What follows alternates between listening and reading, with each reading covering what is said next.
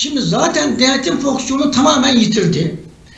Bir yasa yapma kabiliyetini de yüzde ellisini yitirdi. Çünkü yarısını e, Cumhurbaşkanı'na devretti Cumhurbaşkanı kararnameleriyle.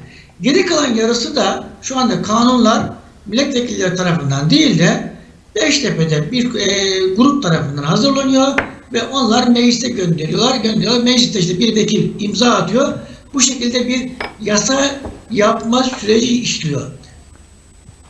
Baktığımızda iki en önemli erklerden biri olan yasamanın da artık tek kişinin güdümüne girdiğini söyleyebiliriz. Önemli üçüncü güç olan yargı da tamamen bağımlı hale geldi bu sistemde. E özellikle Hakimler ve Savcılar Kurulu tamamen Cumhurbaşkanı'nın yani iradesiyle oluşuyor şu anda. Yani ya Hakimler ve Savcılar Kurulu siz de hukukçusunuz yargının kalbidir. Yani orasını kontrol ettiğinizde tüm yargı sistemini kontrol edebilirsiniz. Yani